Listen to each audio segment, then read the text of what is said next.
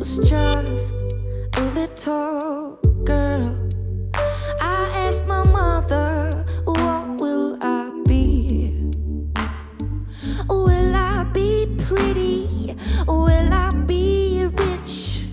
Here's what she said.